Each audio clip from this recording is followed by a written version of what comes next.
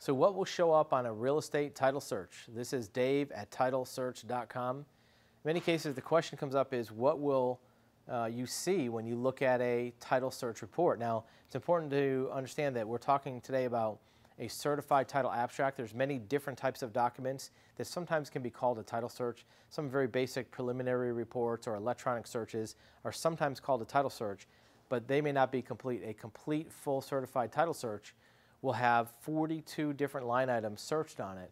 And the most important ones are these eight or 10 that we'll talk about. First of all, the, the vast majority of clients want to know about liens on a property. Liens will be the key item on a title report. Followed close second by mortgages, what mortgages are on a property.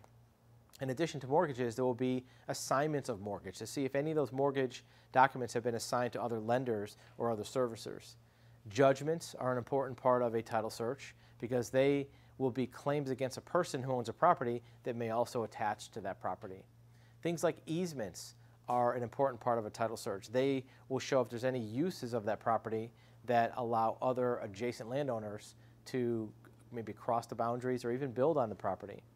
Other encumbrances include things like environmental liens. It could be tax liens, which is really a judgment. Sometimes child support liens will show up. Probate records and divorce records are important to know about on a title search. So the most important thing that a client wants to know about are clouds or claims against a property. There's 42 different kinds. Liens, mortgages, judgments are the vast majority, but don't forget to make sure that the title search you're getting is a certified title abstract so it shows all those other 42 items on the search. If you do have questions about running a title search on real estate, you can reach us at our website at titlesearch.com.